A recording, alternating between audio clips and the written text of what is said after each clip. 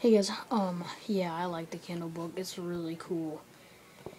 And, um, like, well, it's all about hacking stuff, which I'm really into. So, it's got stuff about, I mean, everything with computers and iPhones and all other kinds of stuff.